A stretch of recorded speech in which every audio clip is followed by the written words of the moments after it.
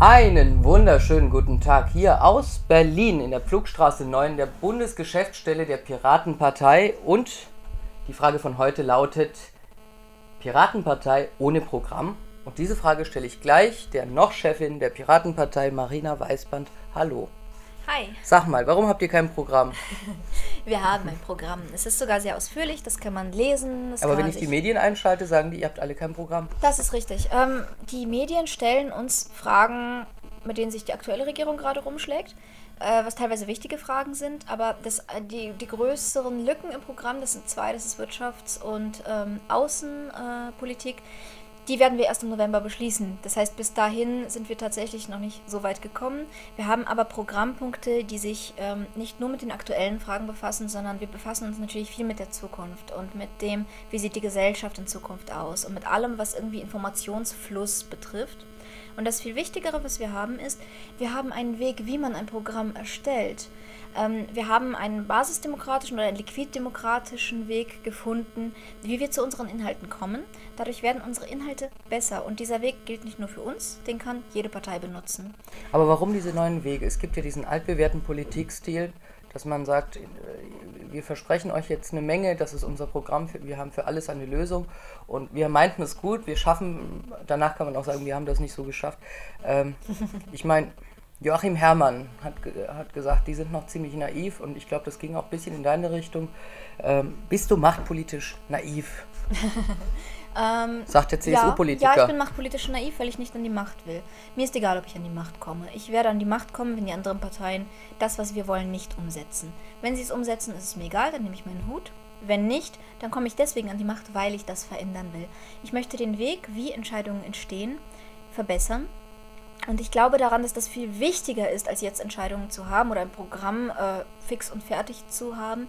Denn ähm, ein Programm zu haben ist wie ein Fisch zu haben. Äh, ein Weg zu haben, ein Prozess ist wie angeln zu können. Ja, dadurch kann ich mir unendlich viele Fische fangen. Und ähm, das Wichtige an unserem Prozess ist, dass diese Programmpunkte, diese neuen, immer von vielen, vielen Augen kontrolliert werden, dass mögliche Schwächen sofort gesehen werden. Was bringt es mir, wenn wir ein Programm haben wie die CDU, wo eine Laufzeitverlängerung für AKWs drinsteht und dann schaffen sie die Atomkraft ab oder wie die FDP, wo Steuersenkungen drinstehen und dann machen sie es nicht. Und zur Eurokrise hatte niemand etwas im Programm. Es ist viel wichtiger, wie man mit neuen Problemen umgeht, mit denen keiner gerechnet hat. Das ist, das ist ein spannender Ansatz. Mag sein, dass deswegen äh, gerade die Piratenpartei ziemlich im Aufwind ist. Ähm, hier in Berlin habe ich was Tolles erlebt vor zwei Jahren. Ähm, der Landesverband hat hier gesagt, wir wollen das bedingungslose Grundeinkommen einführen. Und auf einmal hat es die ganze Bundespartei so gesehen. Das war ein ganz schneller Prozess. Und äh, ich habe jetzt am letzten Wochenende festgestellt, in Sachsen-Anhalt, äh, es war so ein ähnliches Feeling. Und dann haben die gesagt, wir müssen noch weitergehen und gr grundsätzlich mit unserem Geldsystem Fragen stellen, wie wir in Zukunft Wirtschaft organisieren wollen. Und jetzt mach, mag ich einfach mal kurz vorlesen, auch für die Zuschauer. Ähm, die Piratenpartei Sachsen-Anhalt setzt sich für Reformen im Geldsystem ein. Insbesondere sollen durch parallele umlaufgesicherte Geldsysteme alternative Finanzierungsmöglichkeiten für die Kommunen geschaffen werden, regionale Wirtschaftskreisläufe unterstützt werden und insgesamt damit die Umverteilung von arm zu reich durch unser Geldsystem unterbrochen und schrittweise abgelöst werden das ist wieder so ein mutiger Schritt, wo ich jetzt schon wieder dem, den einen oder einen anderen FDP-CSU-Politiker höre, dass das wieder so was Naives ist. Ist das naiv? Ähm, ich glaube nicht, dass Experimente naiv sind und dabei handelt es sich ja um Experiment. Ähm, wenn ich mir so eine Regionalwährung zum Beispiel Ach vorstelle. So, hier übrigens, hier. Äh, ich habe hier mal eine Menge Lutzetaler, auch aus Sachsen-Anhalt mitgebracht. Das ist eine Regionalwährung in Köthen. Ähm, das ist kein Bestechungsversuch der Parteispitze, sondern ich wollte das einfach mal hier so zum Zeigen mitbringen. Ja. Okay, ähm, also die kann ich mir jetzt für 10 Euro kaufen, dann bekomme genau. ich so einen Schein. Genau. Und ich kann den Schein aber auch verkaufen. Genau.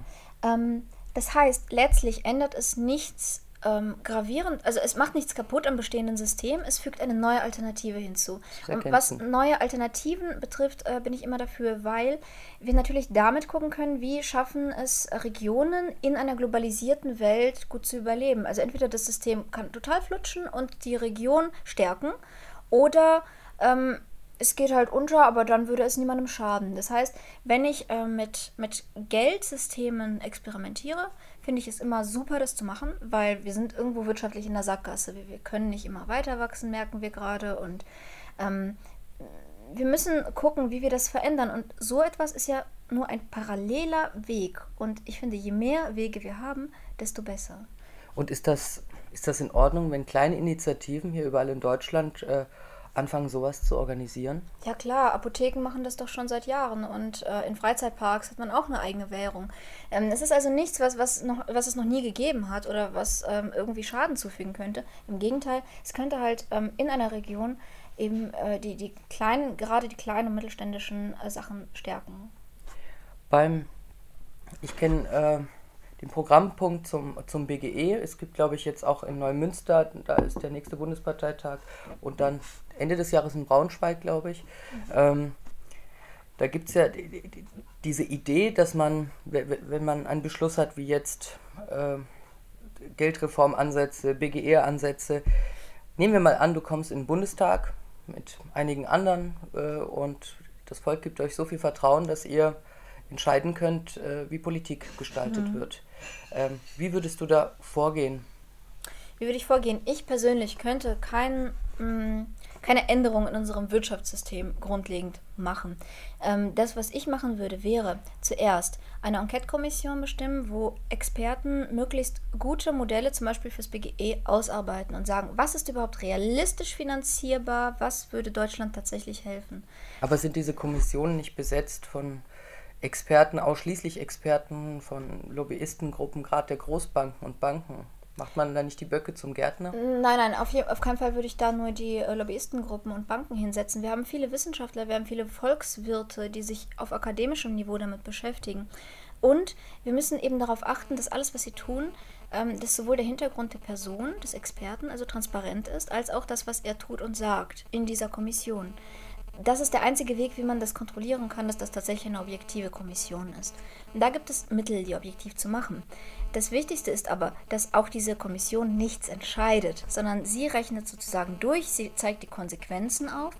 Ich würde die Menschen darüber entscheiden lassen, ob sie ein bedingungsloses Grundeinkommen wollen oder nicht. Also sogar wenn ich mit meiner Partei an der Macht wäre, würde ich immer noch den Menschen diese sehr wichtige Entscheidung selbst überlassen.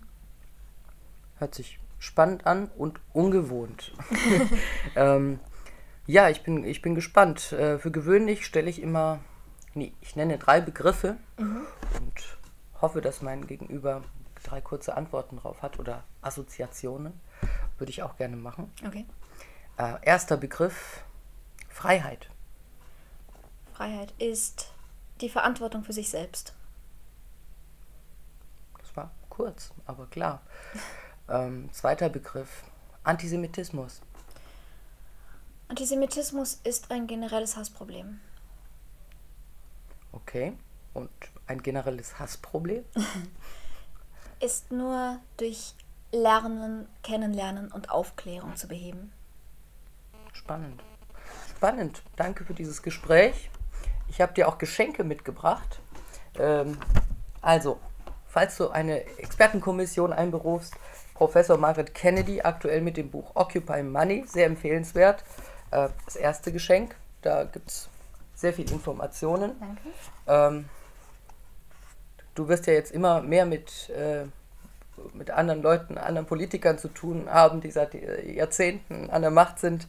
Ähm, ein tolles Buch, Michael Schmidt-Salomon, äh, Keine Macht den Doofen. Wollte wollt ich dir auch noch mitbringen. Dankeschön für das Gespräch und viel Erfolg. Ähm, du hörst ja jetzt auf demnächst. Ich mache Pause. Du machst Pause. Ähm, ich würde sagen, ich wünsche dir eine tolle Pause und ich glaube, viele ähm, erhoffen sich oder erwarten, dass du bald wiederkommst und so weitermachst, wie du das jetzt machst. Dankeschön. Danke dir.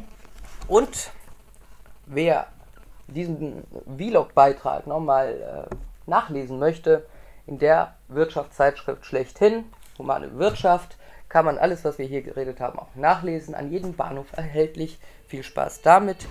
Keine Geschenke, keine Bücher mehr. Ansonsten danke fürs Zuschauen und die Frage beim nächsten Mal lautet neue Angriffsziele Somalia, Afghanistan, Syrien Und darüber rede ich mit Hans-Christian Ströbele. Ich grüße all meine Abonnenten und bis zum nächsten Mal.